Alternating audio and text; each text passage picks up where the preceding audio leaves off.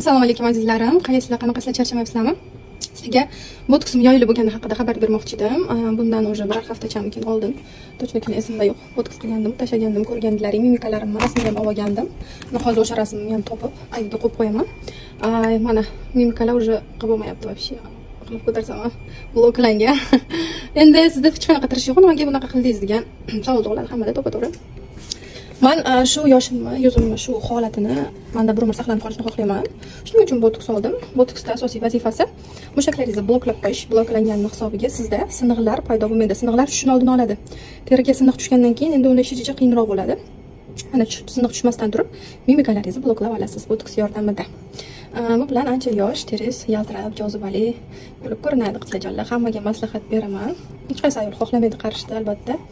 Hech qanaqa zararsiz zarar bo'lganda o'zim olmasdim bu ikkinchi marta olishim man doimiy kuzatib yuradiganlar bilishadi уже bittasini tugatib yechilib ketgandan keyin уже keyin ikkinchisiga oldim alhamdulillah mana judayam zo'r yayilgan